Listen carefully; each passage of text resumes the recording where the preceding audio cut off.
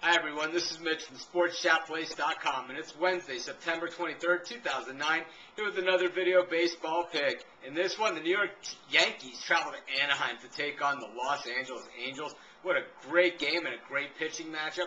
AJ Burnett on the hill for the Yankees, Scott Kazmir on the mound for the Angels. This has playoffs written all over. If this is the, you know, if this is the first game of the uh, American League Championship Series, or uh, you know, is anyone really surprised? Then it, this one is out in Los Angeles, so we have to give the Angels just a slight edge.